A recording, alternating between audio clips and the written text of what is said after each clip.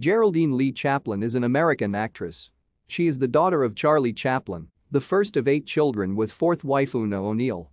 After beginnings in dance and modeling, she turned her attention to acting and made her English language acting debut in her portrayal of Tonya in David Lean's Dr. Zhivago.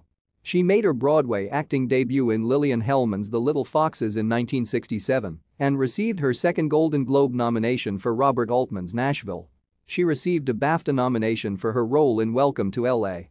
She played her grandmother Hannah Chaplin in the biopic, Chaplin for which she received her third Golden Globe nomination. Chaplin has appeared in a wide variety of critically recognized Spanish and French films. She starred in Les Uns et les Autres, Life is a Bed of Roses, and the Rivette experimental films Noroît and Love on the Ground. She was the partner of director Carlos Saura for 12 years until 1979, starring in his films Anna and the Wolves, Cria Cuervos, Elisa, Vida Mia, and Mama Cumple Cien Años.